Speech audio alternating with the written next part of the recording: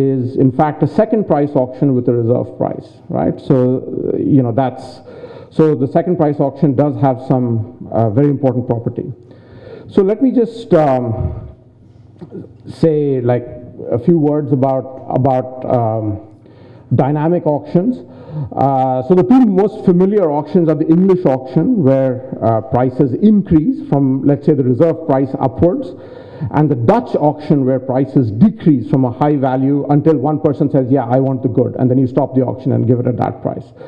And in fact, you can think of the English auction as nothing but, uh, you know, equivalent to a first, it's strategically equivalent to uh, a first price auction, and the English auction uh, to the second price auction, right? So the winner actually pays a little more than the bid of the second highest guy. Know, that's, that's, that's, um, that's the, uh, if you think about it for a moment, that's, uh, it, you know, it'll seem pretty clear.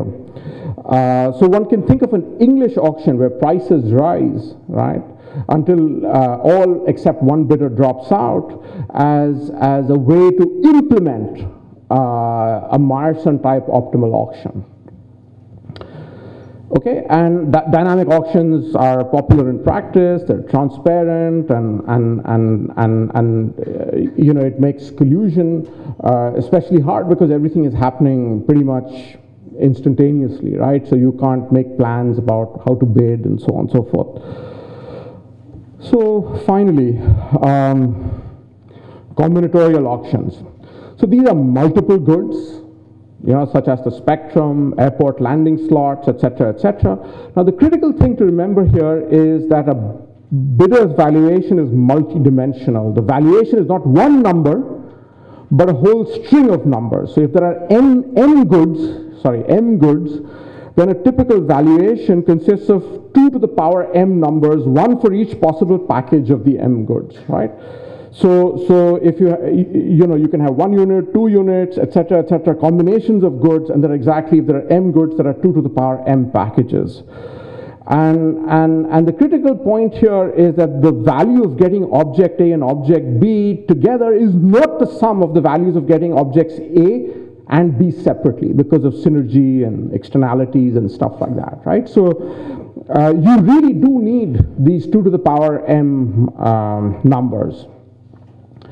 So let's ask the same question. What's the revenue optimal uh, combinatorial auction so that, you know, we can do the best we can in, in, in, in a, in a um, uh, you know, in a spectrum auction? Answer, we don't know. And, and anybody who solves it will get a Nobel Prize for sure. Uh, we don't even know it for two objects.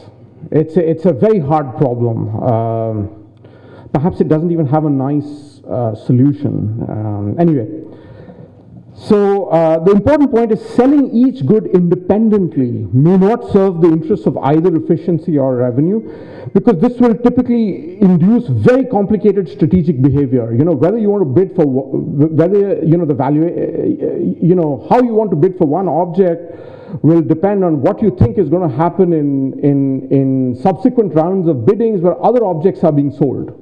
Right? So this, in, you know, this makes it a very hard question right, and induces all kinds of very complex, uh, you know, strategic behavior. So if you can't do revenue optimization, can you do uh, efficiency?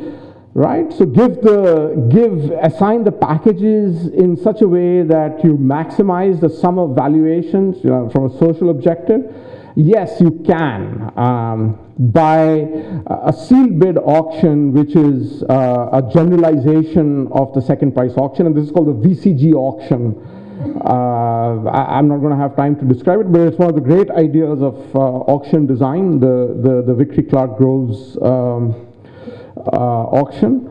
Uh, it's not revenue optimal. It's efficient, but it's not revenue optimal. And, and so this is a sealed bid auction. Can one find a dynamic auction or an English auction which replicates the VCG auction just like the English, the standard English auction replicated the second price or Myersonian auction? Uh, this is again a very hard uh, theoretical question. It's a, there's a huge amount of research, uh, you know, in the literature going on uh, about you know ways in which this can be done. It's, I suppose, uh, fair to say that there isn't a clear answer. Uh, okay, that's all I have to say. I'm, I'm sorry, it's um, it, it's not particularly satisfactory as a as as um, uh, you, you, know, in terms of, uh, uh, you know, explaining everything, but I hope you get an idea that there is, uh, you know, huge and, and, and rich literature out there. Thanks.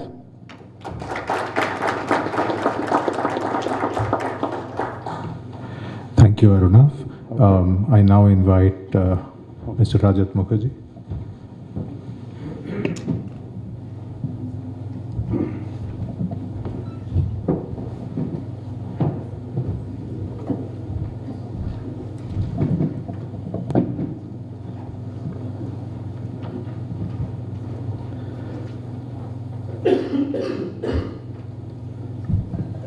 Good afternoon, ladies and gentlemen. Um, after that very uh,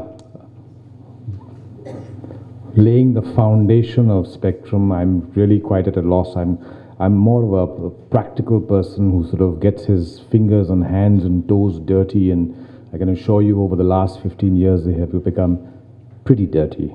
But uh, um, I, am really going to uh, talk to you on what has happened so far, where we are, and uh, what I think we need to do going forward.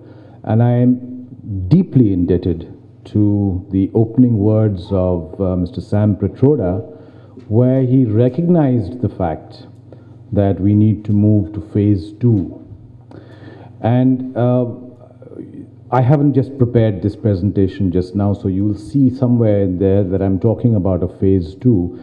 So it is recognition also of the fact that possibly we are reverberating on the same frequency at some level, and I'm not talking spectrum frequency here. um,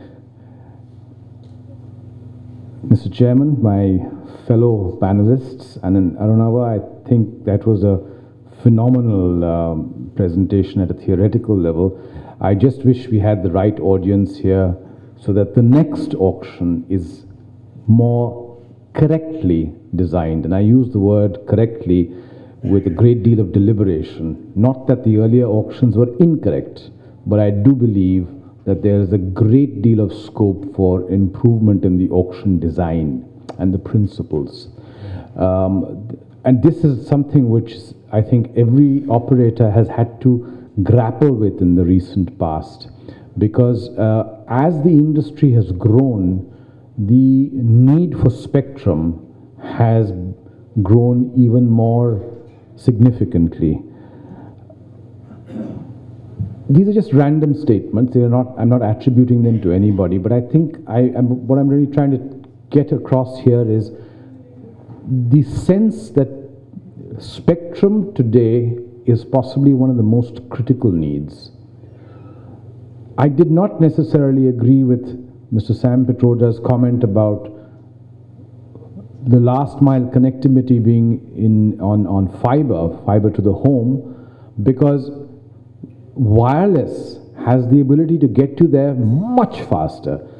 And if Mr. Uh, Satyan Gupta is still in the room, he's going to probably catch me by the throat later and uh, have me for breakfast tomorrow morning. But uh, my view, really, quite honestly, is in an environment like we have in the country, and I think it's important to understand the industry status, with over 900 million total subscribers, out of which 886 of them are all wireless. For us to be looking at getting back into laying fiber is like a step back down the uh, development causeway. This is an industry which has got over 200 thousand crores of revenue. It's an industry which over the last 19 years has invested a gross block of over 7 billion rupees. I know somebody's going to probably take out their calculator and start doing a calculation, but it is a colossal amount of money. But it's also an industry which has a net debt which is two and a half billion rupees. On an EBITDA after 19 years, and this is at an aggregated level of only 4 billion, 0.4 billion, I beg your pardon. Now that is a story by itself. So, on one side, there's a great deal of backslapping and saying, What a great job we've done in the last 20 years. How phenomenal it has been. We've got 886 people, or rather, connections out there in the marketplace. There's 212,000 crores of revenue. It's adding 3% to your GDP. But the investors have only got 0.4 billion in terms of EBITDA. And if I break these, these numbers down in greater detail, it really only means that the entire industry is awash with red ink. There are only three who are managing to keep their heads above water and are probably choking. And so you have an environment where the atmosphere says, get the maximum from them in terms of spectrum. Charge them the, the earth. Why? Because our fiscal deficit needs to be propped up a bit. Well, that's one of the arguments which is given. But then what will you have on the flip side? Will you have a vibrant, will you have an active industry? Will you have them, will you have an industry with the ability to make another $7 billion investment in gross block? And let me assure you, that's what's going to be needed moving down the road. Because the spectrum that is going to be needed in this next phase round is going to be not for the existing access, because that is getting skewed. And look at the numbers. We've got 139% penetration in the urban area, and we've got only a 42% penetration in the rural area. Okay, these are numbers everybody will say, ha, we knew it. Okay, you started at the urban level and you're spreading out. The urban areas have obviously adopted data usage. But the interesting thing is that the rural areas are now beginning to get onto that data pipe. And I fear that in the short period of time that we continue to expand the rural uh, penetration, the data usage in the rural area is going to completely outstrip the, uh, the urban areas. Completely. You know, we have a great deal of myths associated with data. Some people when they think about data, they think of, you know, a 14 inch screen, a laptop, and a, maybe a dongle in it, and you are connected to a constantly on internet connection. But the person out in the rural Chhindwara area, or even Gadchiroli in, in Maharashtra, he has no clue about this laptop. He's doing it on a small little device which is possibly not even 3G enabled. It's pure text. He's doing it on a 2G black and white pure text phone. He doesn't even know he's on the internet. What is he doing? He's in a chat room with somebody on Facebook or some other little application of that nature. Internet for him is not a word which he even understands. But the volumes of that data usage coming out from those areas is going to blow the socks off the entire industry. And we can see it happening. And we can see it happening. Why? And I'm, I'm, sure this is every operator is going to probably come up with their own story, but I think Idea is a little more tuned to it for the very simple reason that Idea has the largest penetration in the rural markets. We don't really have, we, we, we're very present in the Bombay, Delhi, Calcutta, Madras areas as well. But we are there in the Gadchirolis of the world. We are there in the Laturs. We are there in the Chhindwaras of Madhya Pradesh. We are, we are probably the only operator in, uh, in Chhattisgarh, which is supposed to be the, the red district. Okay? We've had our towers blown up overnight. We've had our uh, security people uh, just taken away. Nothing happens to them. Oh, they're very good about that. They just remove them and they say, look, we'll keep you a, a little distance away. We just want to bring the tower down. That's it. We've had all kinds of situations happening to us. And all this is happening in areas which are tomorrow going to be the data users of this country. How am I going to be able to support that if I don't have spectrum? Right? I said it's the need of the hour. But I said, and this is where I was pointing out, the next round is the data game. I currently have 886 million people on the mobile voice. And yes, there was a time, uh, Rajat, when we were doing 20 million subscribers a month, and that, that is not going to be repeated, no question about it. But I think the, the, the uplift of subscribers is still going to continue. There's a huge capacity for voice which is, still exists out there. But it has shifted from that earlier environment of a one-to-one connection of a classic teleco- telephone uh, system, it has now shifted to the one-to-many. And the internet on the mobile has become central to the lifestyle of a very, very, very large number of our people here in the country. But let's try and break that down. It's 210 million Indians today have internet access. Okay? But the interesting thing is that 188 million of them are on mobile. It's, it's something along the same lines as that 916 million uh, uh, total subscribers and 886 million on them on mobile. So you have 210 million users of uh, internet access, but 188 more million of them are on mobile. And this, uh, ladies and gentlemen, is not data that I am cooking up. This is from the TRAI. Okay? Now, the implication of this really is only that in this present day, as we sit and as we speak today, there's a potential for 600 million plus waiting to get on to the mobile internet. Now, if you do a quick back of the uh, envelope calculation, work out how many GB they are likely to use, try and figure out how much spectrum that is going to need. And let's look at the spectrum now. I've broken this up for purposes of easy uh, understanding as before 2010 and acquired after 2010. And the reason is because 2010, 2012, and 2014 were three tranches of auctions which took place, right? Prior to this, it was an administratively allocated system. So, under that system, approximately 1168 megahertz of spectrum in various bands was allocated. Subsequent to 2010, we've got another additional 1635 megahertz of spectrum which has been allocated. Now, this total would come to about 2800 megahertz of spectrum, which is sitting out there. Okay? Sounds like an enormous chunk of change.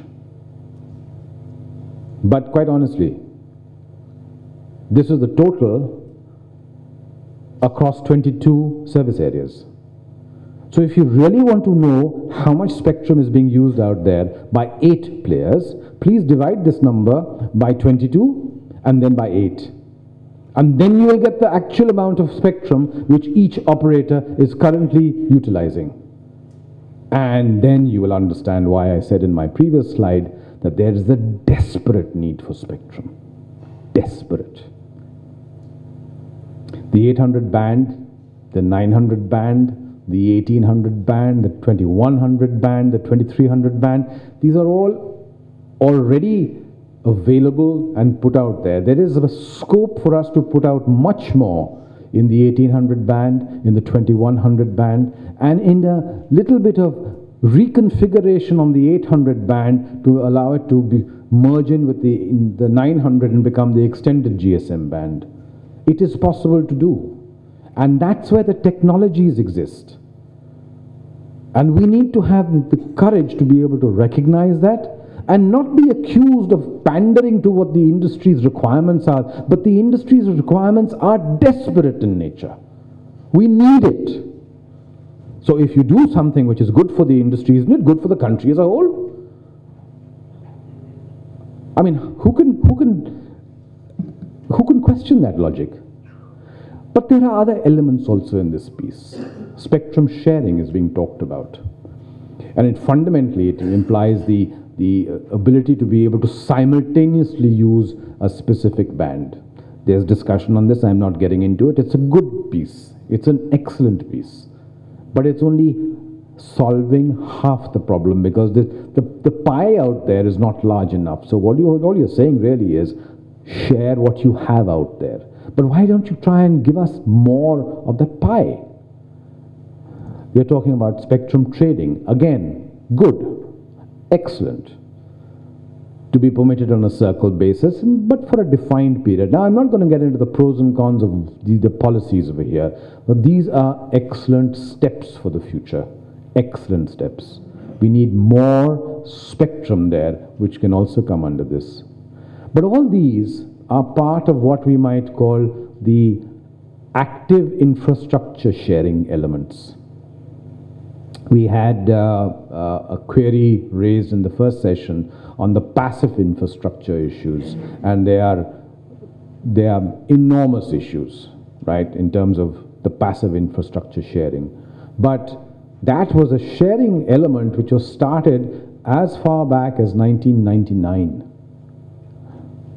And let me ask, let me also share with you that in 1999, when, act, when passive infrastructure sharing was started, it was not started with the intention of, uh, uh, you know, trying to maximize networks and uh, create larger um, coverage areas. It was just trying to get to the market faster. If there was a, a, tower already existing there and I knew that that tower belonged to somebody else, I'd walk up to that other person and say, hey, you mind if I sling my uh, equipment onto that tower as well? And so started in, uh, the, the passive infrastructure sharing. It is, as, it is as simplified as that. And then, of course, it got much more structured, and now you have tower companies which are, uh, you know, uh, valuations in their own right. But if I finally get back to the story of Spectrum, I've talked about my 883 million subscribers. There's a total of 3,103 megahertz of spectrum which is being used by these 83 million subscribers. And therefore, if I were to just broadly and you just do a calculation, I'm saying each megahertz has an average of 285,000 subscribers at a gross level. But let me break these numbers down a little bit. 56% of the subscribers, and I'll come to why I've taken 56%, 56% of the subscribers, or 493 million, are consuming 26% of the total spectrum. It's the classic 80 20 situation. Classic, right? And they are supporting 609,000 subscribers on 1 megahertz of spectrum. And the balance of 44 uh, percent of the subscribers, or 390 million, are utilizing most inefficiently 2,293 megahertz of spectrum.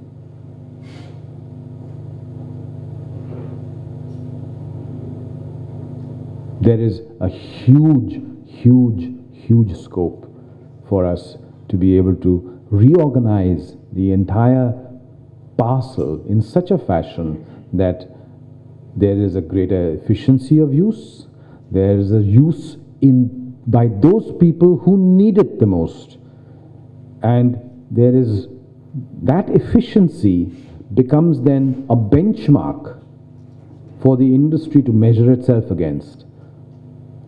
Is 285 plus minus?